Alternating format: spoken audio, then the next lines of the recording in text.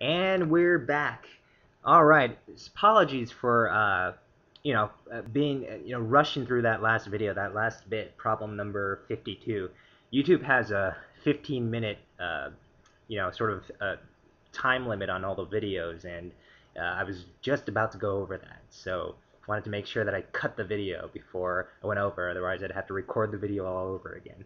But uh, let me do some more uh, you know, I wanted to explain uh, number 52 a little bit further because that is kind of a tricky question.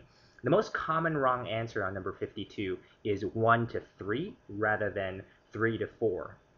Uh, or sorry, uh, you know, it's often like uh, 2 to 3 or, or something like that. You know, it, it is a tricky question. And the reason why it's tricky is because um, when people look at the ratio uh, between the, the over 21 folk and the under 21 folk, um, you know, the, the, the problem says that there are three times as many people aged 21 or under, right? So they, they say that there's three to, uh, to one.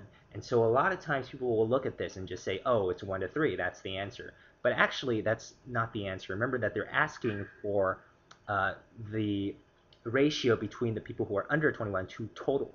And whenever you look at the total, you always have to add everybody involved. So uh, the total includes people over 21 and under 21.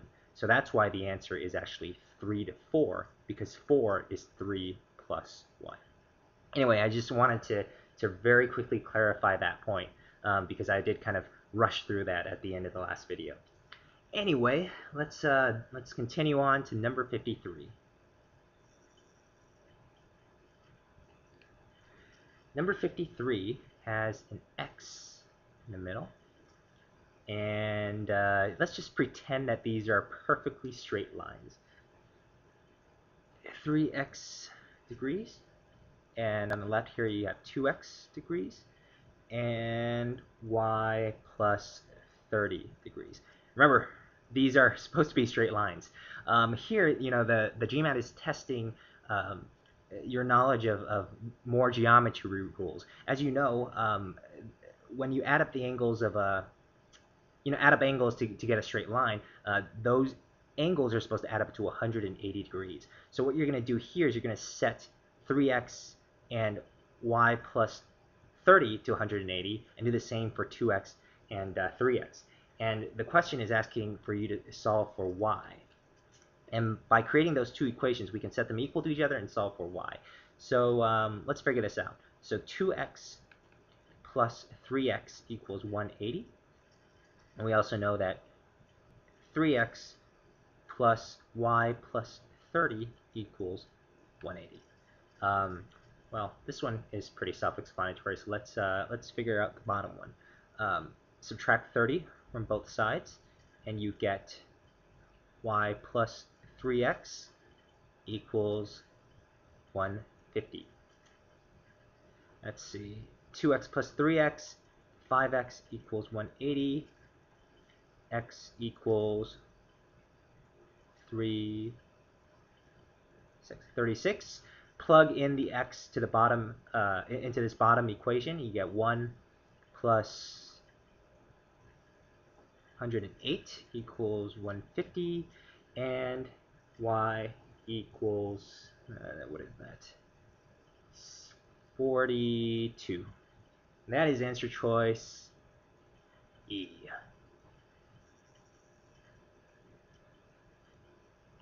Problem number 54. Square root of 80 plus the square root of 125 equals what? And that's all they give you. So uh, this is a pure, uh, you know, this is a problem that you just have to um, kind of push your way through. Um, 80, uh, let's let's try to find some factors and see if we can't um, break these square roots into simpler numbers uh, 240, 220,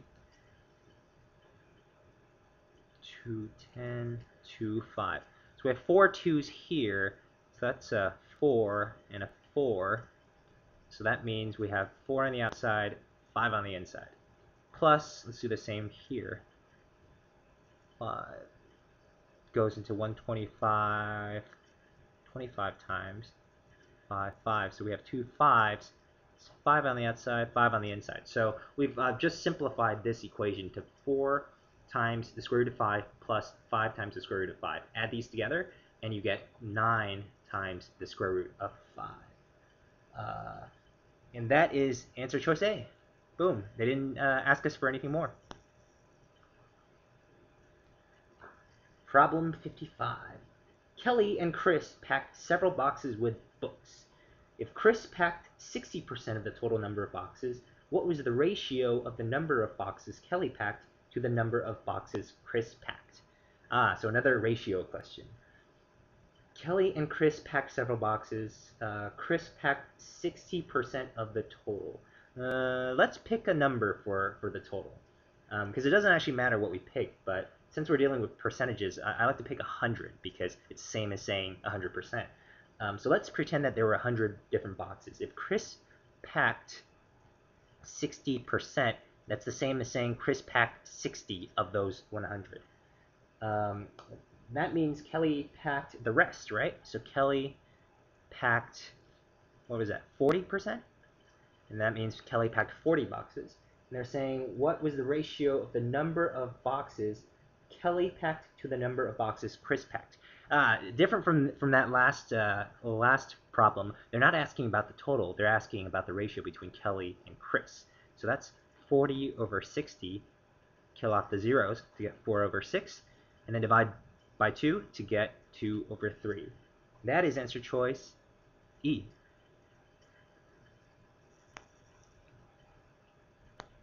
Number 56. Of the following, which is the closest approximation of, oh, and then they have this horribly complicated problem. 50.2 times 0.49, 199.8. Now, whenever you see a problem like this, you have to remember uh, what the goal of the GMAT is. The goal of the GMAT is not to make sure that you're a human calculator. They're not trying to make sure that you can do all the computation correctly, and they're not going to design questions that, that, that require you to spend more than three minutes on it. Um, what the GMAT tests are your concepts and how good you are at finding shortcuts. So whenever you see a convoluted problem like this, there's probably a shortcut somewhere that you can figure out. Um, in this particular case, you can see that 50.2 is very, very close to 50. Uh, 0.49 is very close to 0.5, and uh, this number down here is very close to 200. And so what the GMAT here is testing is your ability to round. Uh, usually what I like to do is check the answer choices and make sure that the, the actual answer choices are, are different enough to where you can round. Um, in this case, yes, they are they are quite different, so that uh, even if we we uh, round these numbers a little bit off, we'll still get a very close approximation to the answer. So let's do that. So 50 times 0.5 over 200. Uh, let's see here. We can uh, actually kill off the 0 here to make it easier. 5 goes into 20 how many times? Uh, that 5 goes into 20 four times. So let's get rid of the 50 completely. And uh, 4.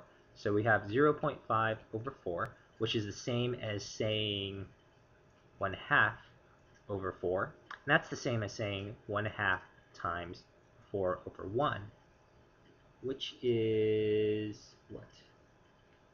Ah, I think I've made a mistake. Actually, uh, let's see.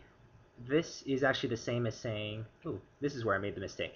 Uh, this is tricky because 4 is the same as 4 over 1. So when you divide 1 half by 4 over 1, you actually have to invert. So let me try that again. So it's actually 1 half times 1 over 4. And that gets us 1 over 8. And 1 over 8 is one of the answer choices. It's answer choice B. 57. Yeah, see, uh, uh, you know, going back to that last question, as you can see, if you just, uh, you know, if you are careless, you can make very, very simple mistakes like that. And uh, sometimes the GMAT is very forgiving, and uh, when you look in the answer choices, you'll realize you made an error, and you can go back and correct it. But sometimes the GMAT can be very fiendish. And what they'll do is they'll actually have the most common wrong answers as answer choices. So you never knew that you got it wrong. You just picked the wrong answer choice because you thought it was right. And then, uh, and then you get your score and you're like, what the heck? So let's move on to number 57.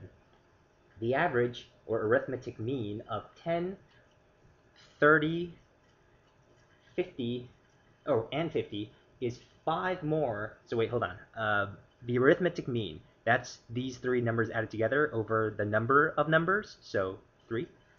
So this is equal to 5 more than, so that's 5 plus the average of 20, 40, and and some and the answer and uh, whatever it is that we're looking for. Let's use x number three, and we're gonna find out what x equals. Okay, so how do we get started? Um, this five, I kind of want to get rid of it, so let's uh, multiply it by three to get 15 over 3. And then let's add it up. So on the left side, uh, let's add up these numbers. 90 over 3 equals 15 plus 20 plus 40 plus x over 3. This is the same as 60 plus 15 is 75. So it's equal to 75 plus x over 3. We can get rid of the 3's. And we're left with 90 equals 75 plus x. x equals 90 minus 75. And that gets us our answer, which is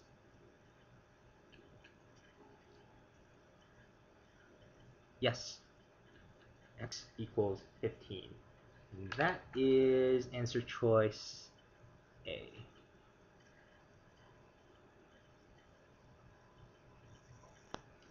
Next question, 58.